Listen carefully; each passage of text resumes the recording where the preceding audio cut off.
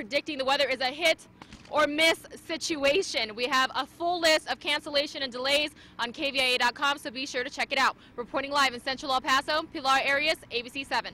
B-17s used to house 10 airmen back in the 1940s. One of them will be crouched in the fetal position down here for up to 8 to 12 hours. Joining me now is Commissioner David Stout, who was present during the meeting and when the vote came down. Commissioner Stout, can you tell me how have you been involved in this process?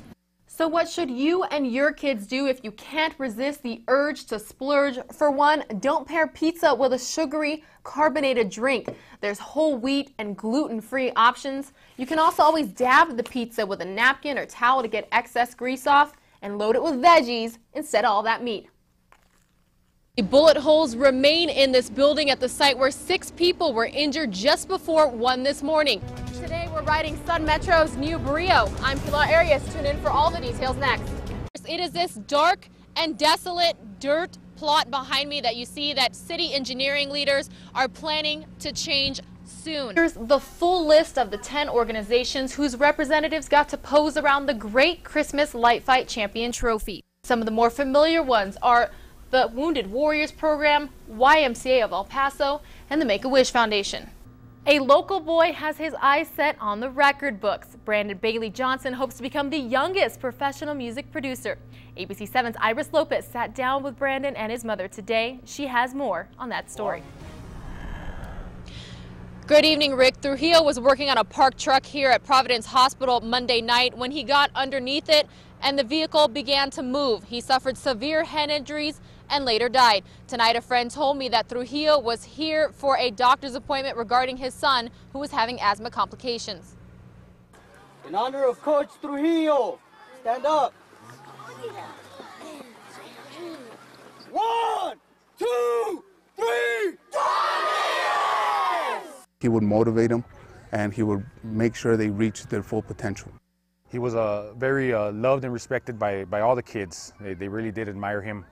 And it's a tragic loss, um, definitely to his family and to the Horizon Dominator family as well. A group of 5 to 13 year old boys are missing their football coach this spring.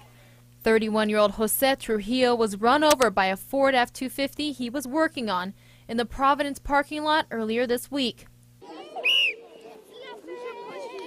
His fellow coaches say he left behind a wife, young daughter, and son. Now they've opened a GoFundMe account to raise funds to help for funeral expenses. Hit us, you know, really close to home. Um, not only because he, he, was, you know, part of our family here, but I also have kids his same age, uh, helping coach them as well, you know, wife as well. So kind of just reflecting and putting myself in his shoes, you know, it's just uh, unbelievable what they're going through. You can do it. Let's go. Let's go. Come on. Come on. But at least the Horizon Dominators have each other during this difficult time and are looking forward to when Trujillo's son returns to play with his teammates. I have all the information for Trujillo services. They'll be posted online shortly after this newscast, as well as the GoFundMe link. But for now, reporting live at Providence Hospital, Pilar Arias, ABC 7.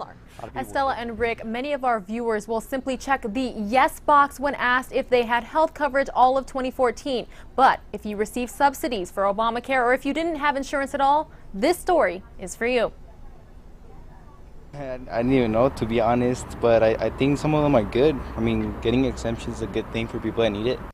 Armando Rodriguez doesn't know that not everyone who didn't have health insurance in 2014 will have to pay a tax penalty. I think what's stuck in everybody's head is, oh, it's just $95. But $95 is the beginning of the story. That's for an individual. It can be as much as $285 for a family, and that's the lower limit. So it is the greater of that amount or 1% of a modified adjusted gross income amount. It's a fairly complex calculation. Due to the Affordable Care Act, more people may be looking for help filing their taxes this year.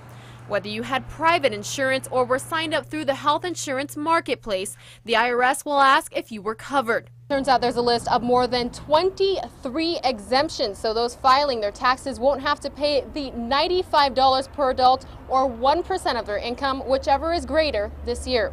Some include hardships such as experiencing the death of a close family member, going through loss due to a fire, or having expenses due to caring for an ill, disabled, or aging family member. We kind of have a negative outlook when we're required to do something by law, um, but you know, when there's little items that can get you through without having to maybe meet that mark this year, but maybe next year, it, it helps a little bit. Another thing to keep in mind, those who received lower Obamacare monthly rates due to projected income may have to pay some of that back due to actual income earned in 2014. The tax deadline for this year is April 15th. I have a list of exemptions as well as some helpful links on KVIA.com. Back to you. The continued push to dump xeriscaping and restore the cemetery's grass.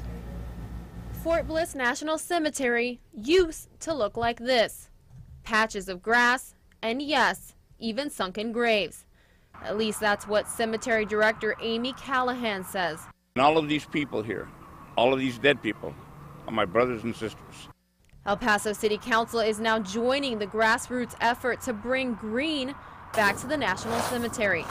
Council members will vote Tuesday on whether to draw up a proposal urging the National Cemetery Administration to replace the xeriscaping at Fort Bliss National Cemetery with grass and sod. For District 2 City Rep Larry Romero, the fight is close to his heart because his mom is buried here. It'll be 23 years since she passed away. So for me, it's more a personal issue. I think uh, I'd like to be, when I come out here, I have to stand out here. And Many people I spoke with here at the cemetery says they miss some sort of green instead of all this gravel. That way they can have a place to kneel or sit when they visit a loved one. Representative Romero is hoping Congressman Beto O'Rourke scores a home run when he goes up to bat for Fort Bliss National Cemetery in Washington, D.C.